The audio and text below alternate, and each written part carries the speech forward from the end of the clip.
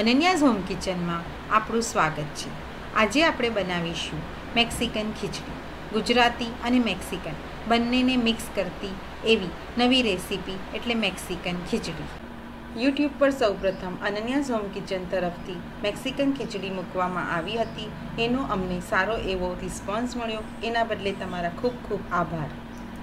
અમારા ગુજરાતી ફ્રેન્ડની રિક્વેસ્ટ હતી કે આ રેસીપી તમે ગુજરાતી ભાષામાં મૂકો એટલે ફરીથી મૂકીએ છીએ.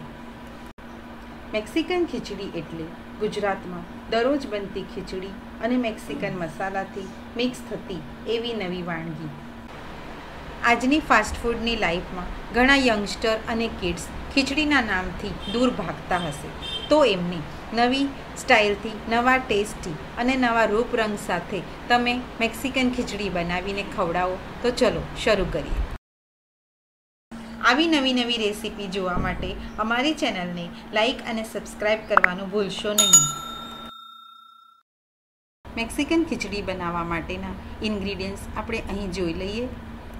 મેક્સિકન ખીચડી બનાવવા માટે સૌપ્રથમ આપણે દરરોજ બનતી સાદી ખીચડી બનાવી લઈએ. અહીં મેં એક કપ બાસમતી ચોખા અને એક કપ મગની દાળ લીધી છે. તેની ખીચડી તૈયાર કરી લઈશું. હવે સાદી ખીચડીને મેક્સિકન લુક આપવા માટે એક પેન લઈ લઈએ.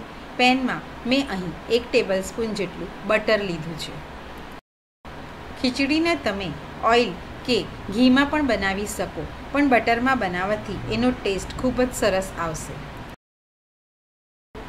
બટર બરોબર ગરમ થઈ ગયું છે. હવે તેમાં ઝીણું સમારેલું લસણ એડ કરીએ.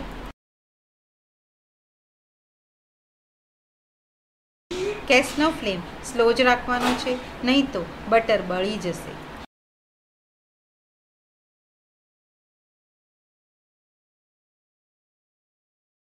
લસણ સતળાઈ ગયું છે. હવે એક કપ જેટલી ડુંગળી એડ કરીશું.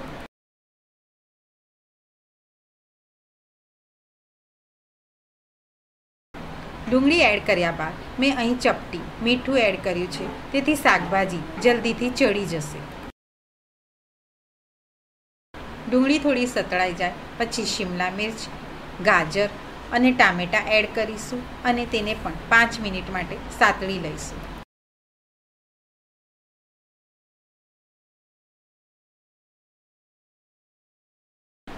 અહીં મેક્સિકન રેસીપી માટે આપણે બધી શાકભાજીને મીડિયમ સાઇઝમાં જ કટ કરવાની છે.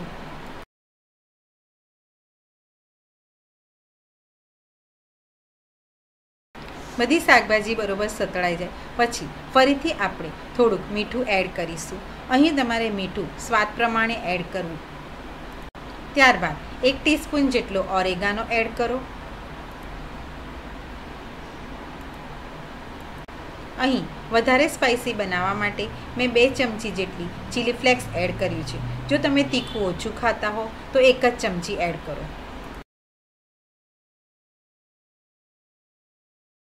પછી તેને વધુ ટેસ્ટી બનાવવા માટે મેં અહીંયા સેજવાન ચટણીનો યુઝ કર્યો છે. તમે સેજવાન સોસ કે સેજવાન ચટણી વન ટીસ્પૂન જેટલી એડ કરી શકો છો.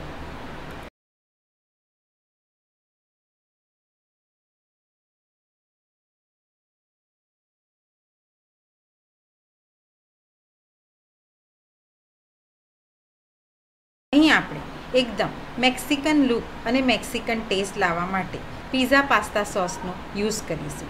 પીઝા પાસ્તા સોસ મેં અહીં એક ટીસ્પૂન જેટલો એડ કર્યો છે. અહીં આપણે ઘરના કોઈ મસાલાનો ઉપયોગ કર્યો નથી, ફક્ત મીઠાનો જ ઉપયોગ કર્યો છે.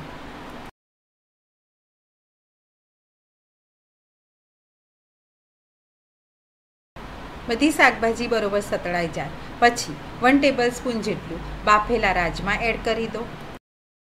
જો તમને રાજમા ન ભાવતા હોય તો તમે સ્કીપ કરી શકો છો. હવે આપણી બધી સામગ્રી બરોબર મિક્સ થઈ ગઈ છે. હવે આપણે બાફેલી ખીચડી એડ કરીશું. હવે ખીચડી એડ કર્યા બાદ અહીં મેં હાફ કપ જેટલું પાણી એડ કર્યું છે. પાણી એડ કરવાથી ખીચડી બરોબર હલાવતા ફાવશે અને સ્મૂથ થશે. હવે ખીચડી બરોબર મિક્સ થઈ ગઈ છે. તેને વધારે સ્પાઇસી બનાવવા ઉપરથી થોડો ચીલી ફ્લેક્સ એડ કરી શકો છો. હવે આપણી મેક્સિકન ખીચડી રેડી છે. તેને આપણે બાફેલી સ્વીટકોર્ન અને કોથમીરથી ગાર્નિશ કરીએ તો ચલો આપણી મેક્સિકન ખીચડી પાપડ, દહીં અને કોથમીરની ચટણી સાથે સર્વ કરીએ. આવી નવી નવી રેસીપી જોવા માટે અમારી ચેનલને લાઇક અને સબસ્ક્રાઈબ કરવાનું ભૂલશો નહીં.